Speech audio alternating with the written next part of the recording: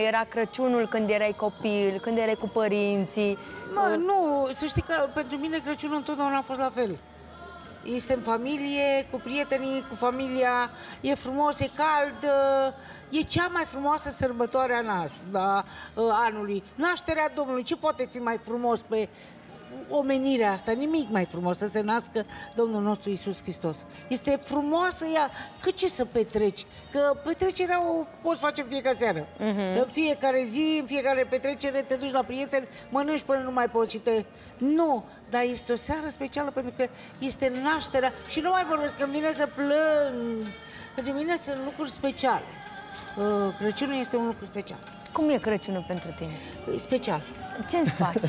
Ce e așa Îmi place special? foarte tare. În primul rând, vreau să vă Este spun, cea eu mai am importantă împodobit casa de sărbătoare, la dacă 1 se decembrie. Da, ai împodobită? Da. Uh, nu așa, nu e chicioasă, dar tot ce mi-a plăcut mie am pus în casă, da?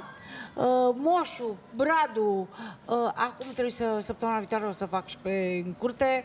Uh, îmi place să fie așa lumină, să fie o bucurie. Pentru că Ați este pus o luminițe bucurie. așa pe da. casă? Crăciunul este o bucurie. Ce frumos. Este, măi, eu sper să fim mai buni, măcar anul care vine. Ai- Te-ai simțit în, în Crăciun singură?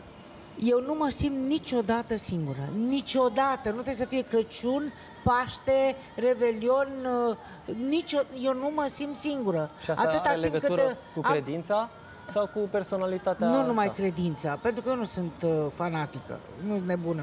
Uh, sunt un om credincios ca o, orice om normal. Și e normal să fii. Uh, eu nu am realizat absolut nimic, tot, nu eu, nimeni. Și o spun și am spus-o întotdeauna. Tot ce se întâmplă cu mine este datorită lui Dumnezeu. Sunt sănătoasă datorită lui, tot ce se întâmplă cu mine. Și să nu credeți că la voi nu se întâmplă același lucru. Uh, E atâta talent și restul Dumnezeu, îți spun eu. Deci Da, da, așa e este. faptul, e, tu vrei să spui că e destin, adică viața pe care tu Nu, ai în nu, acest nu. moment, așa a vrut Dumnezeu, nu Da. tu ți-ai făcut-o cu mâna Nu, ta, ca nu. liberul arbitru? Nu. Nu mi-am făcut eu nimic. Dacă era după mintea mea, făceam mai prostii. Adică Dumnezeu a vrut Nu, ca mi-a- tu să n-ai un mi-a soț dat sau și- nu știu ce, Nu, ca să, lasă-mă cu care să pace stai la cu masă soțul și cu în astea, seara cu de astea. Crăciun cu el? Astea- Aoleu, și dacă stăteam în seara de Crăciun cu el, ce se întâmpla? În primul rând că eu trebuia să gătesc până mă speteam, Așa să e. fac mâncare, să fac... Nu, Curățenie hai, și lasă-mă, toate. nu. Iar uh, eu aș fi vrut să fie lângă mine un înger, ceea ce nu se poate. Îți dai seama, după ce speli, calci, faci toate, ești crăcănată de oboseală, uh, mai mai îți vorbește și urât sau pleacă de acasă că se duce să bea o bere cu, cu prietenii. Tu nu te uita așa la mine, că de bărbați vorbesc. Eu mă gândesc că fiecare are un, uh, un înger uh, bineînțeles. lângă el și în afară de asta, asta cu uh, destinul, eu nu pot să zic că sunt 100% de acord. Pentru că fiecăruia Dumnezeu ne vorbește într-un fel sau altul, depinde de fiecare să-l asculte sau nu. Și cred că de la ceea ce vine de la Păi de- Dumnezeu este Adi, vreau inspirația să pe spun o care chestie. este datoria noastră să o transformăm în De lucruri aia nu palpabile. mi se întâmplă aproape nimic bun. Nu vorbesc de noi acum, în general. În general. Pentru că nu-i ascultăm cuvântul Domnului. Eu n-am venit aici să fac uh, acum ce fac, dau lecții de religie. Nu. Suntem în credință, postul da. Crăciunului, Suntem așadar în postul putem să Crăciunului și facem. trebuie să fim buni. Uh, Cred pentru că se trebuie să fim întâmplă buni tot atâta timpul, nu? Și viața este atât Cât de putem. scurtă și atât de frumoasă.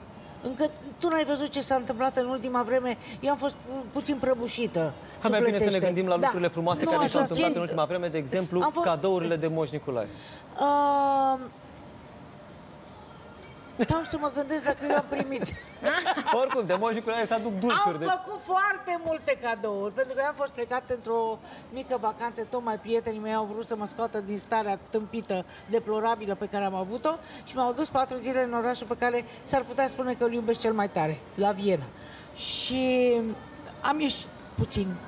Dacă eu am ieșit pe Lapoviță, E mare lucru. Pentru că prima seară când am ajuns era frig, Lapoviță. Am ieșit să mă plimb pe stradă. Wow. Să știi că mi-a prins foarte bine. Mi-au prins bine cele patru zile extraordinar și încă o dată le mulțumesc prietenilor mei că au avut gândul cel bun să mă scoată din casă pentru că eram în oala cu...